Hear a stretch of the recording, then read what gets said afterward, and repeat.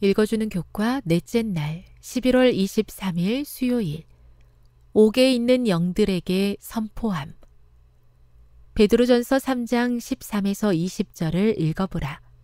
그리스도께서는 어떻게 노아의 때에 살던 옥에 있는 영들에게 설교하셨는가?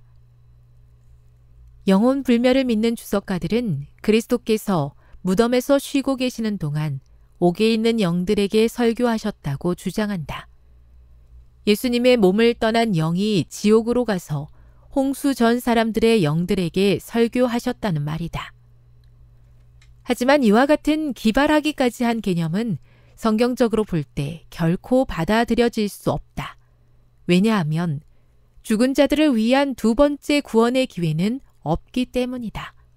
그렇다면 예수님께서 왜 더 이상 구원받을 기회도 없는 자들에게 설교하셨겠는가?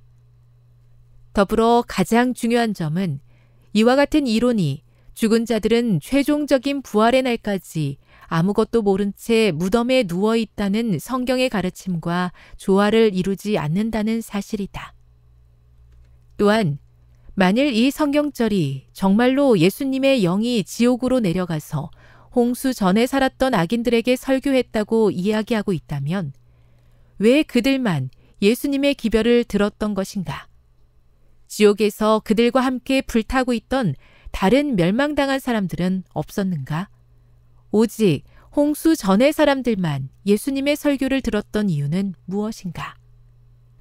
그리스도께서 노아의 때 불순종했던 타락한 천사들에게 설교하셨다는 주장 또한 말이 되지 않는다. 옥에 있는 영들이 순종하지 아니하던 자들이라고 묘사되어 있는 반면 성경은 악한 천사들이 오늘까지도 여전히 불순종하고 있다고 이야기한다. 뿐만 아니라 타락한 천사들은 구원받을 다른 어떤 기회도 없이 큰 날의 심판까지 영원한 결박으로 흑암에 갇혀 있다. 우리는 베드로전서 3장 19절에 나타난 옥에 있는 영들이 20절에서 노아의 날 복종하지 아니하던 자들이라고 설명되어 있다는 사실을 주목해야 한다.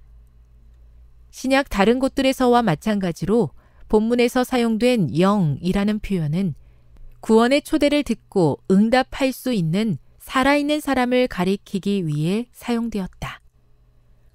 옥에 있는 이라는 표현은 분명 문자 그대로의 감옥이 아니라 죄로 가득한 인간의 본성이 발견되는 죄의 감옥을 가리킨다.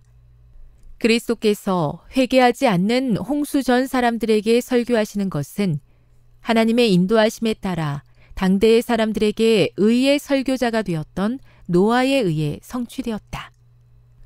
오늘 살펴본 본문은 참된 충성이 무엇인지를 설명하는 문맥에서 기록된 것이지 죽은 자의 상태를 설명하기 위해 기록된 것이 아니다. 교훈입니다. 예수님의 영이 지옥으로 내려가서 노아 홍수 시대에 회개치 아니했던 자들의 영들에게 설교했다고 믿는 것은 죽음에 관한 성경의 가르침과 조화를 이루지 않는다. 묵상. 히브리서 11장 7절을 읽어보십시오. 다시 한번 죄로 인해 타락해버린 세상에서 하나님께서 노아에게 주신 사명은 무엇이었습니까? 적용. 성경에 기록된 말씀의 의미를 오해하지 않기 위해 어떤 마음가짐과 방법으로 성경을 읽고 연구해야 할까요? 영감의 교훈입니다. 하나님께서 노아를 통해 설교하심. 하나님께서는 그들에게 120년의 은혜의 기간을 허락하시고 그 기간 동안 그들에게 무드셀라와 노아와 그 외 많은 다른 종들을 통해서 설교하셨다. 그들이 이 신실한 증인들의 증언에 귀를 기울이고 회개하여 돌아와 충성하였더라면 하나님은 그들을 쓸어버리지 않으셨을 것이다. 화이주석 창세기 6장 3절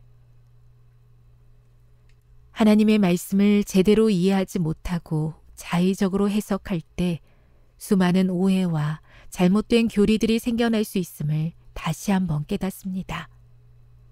진리의 말씀을 올바르게 이해할 수 있도록 성령을 통해 저의 우둔한 마음과 생각을 깨우쳐 주시옵소서.